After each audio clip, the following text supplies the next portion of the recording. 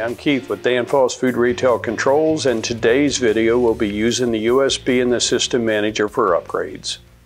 We do have a few more options on here we want to talk about. Load bootloader is uh, one of the very first functions you will do when you're upgrading, as I mentioned earlier. So the bootloader happens first, and then we will go and either load a CSI file or an MAI file, one or the other.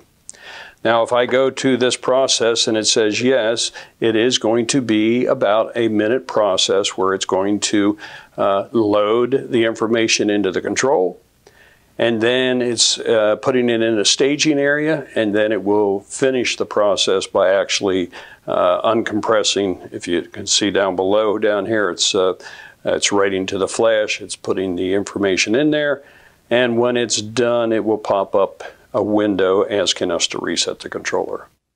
Now, when I reset this controller, as it's asking right here, it will go into the boot mode. Now, the boot mode is a process that is uh, managed within the controller uh, that does not allow this thing to, the, to finish booting up into no, normal operation. It's actually going into a, uh, a screen, as you can see right here, which looks quite different. So if we are in the boot mode, this will be the screen that we are in. Uh, I always explain this as having a bit of a text looking format. You can see over here, press 1 through 4. We are limited to upgrades only here. We cannot do the other functions, which is save database or load. Under the boot, we're simply doing an upgrade.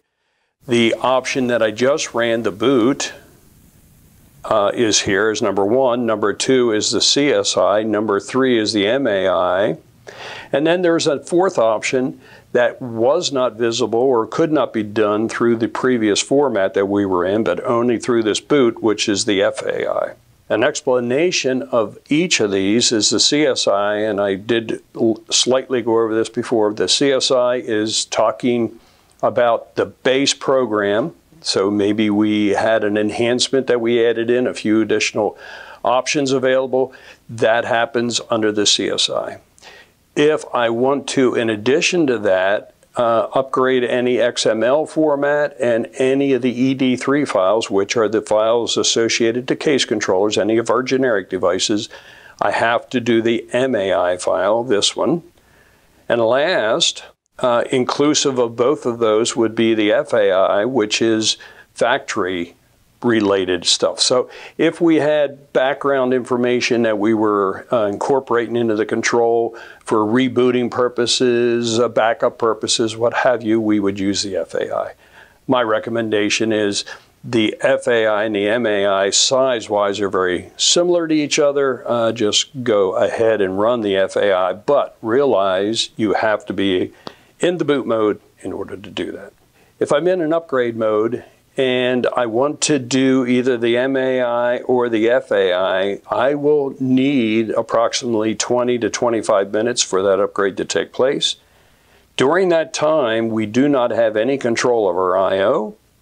And because we don't have any control of the I.O., because the controller is in a boot state and it's not actually up and operational, you will want to make sure you have things in override. Very important that you do that.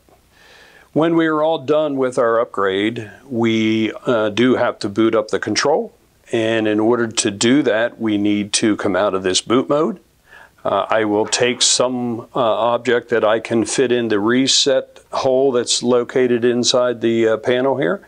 And if I hold that for about four seconds, you're going to see that it will reboot the control.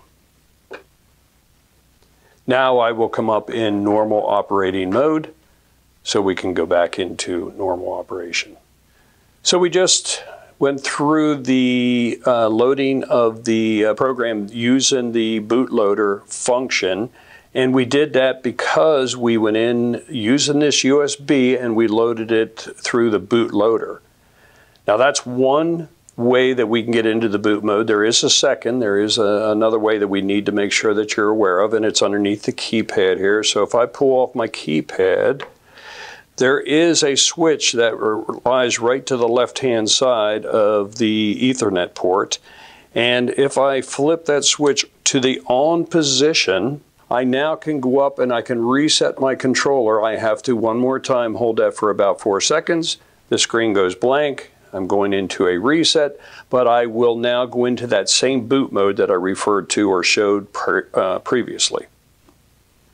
In order for me to get the touch screen up, I will take this USB, I'm going to remove it, I'm going to replug it,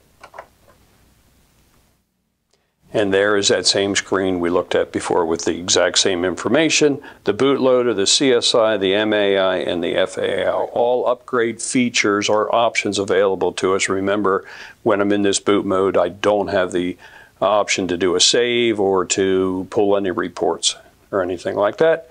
Now, in order for me to go back into normal operation, I go back to this switch. I have to turn it off and I again go up and I hold the reset button for the four seconds. Now I will boot up into normal mode. For more information on this topic, see the description below. And for more videos like this, visit our YouTube channel, Danfoss Cool US, and thank you for watching.